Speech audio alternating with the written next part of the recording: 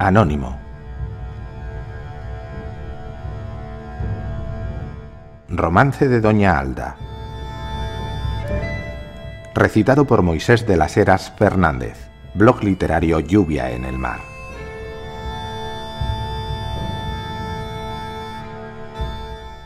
En París está Doña Alda, la esposa de don Roldán. Trescientas damas con ella para la acompañar Todas visten un vestido, todas calzan un calzar, todas comen a una mesa, todas comían de un pan. Si no era doña Alda, que era la mayoral.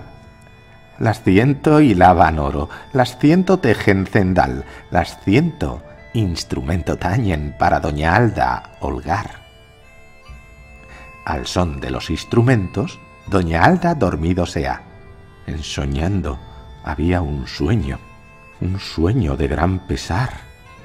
Recordó despavorida y con un pavor muy gran los gritos daba tan grandes que se oían en la ciudad. Allí hablaron sus doncellas. Bien oiréis lo que dirán. ¿Qué es esto, mi señora? ¿Quién es el que os hizo mal? Un sueño soñé, doncellas, que me ha dado gran pesar, que me veía en un monte, en un desierto lugar, dos solos montes muy altos, un azor vi de volar.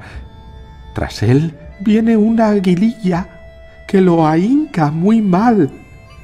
El azor con grande cuita metióse somibrial.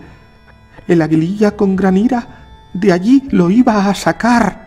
Con las uñas lo despluma, con el pico lo deshaz. Allí habló su camarera. Bien oiréis lo que dirá. Aqueste sueño, señora, bien os lo entiendo soltar. El azor es vuestro esposo, que viene de allí en la mar. El águila, sedes vos, con la que ha de casar, y aquel monte es la iglesis, donde os han de velar. Si así es, mi camarera, bien te lo entiendo pagar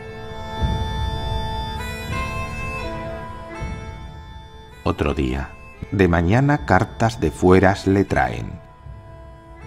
Tintas venían dentro, que fuera escritas con sangre, que su Roldán era muerto en la caza de Roncesvalles.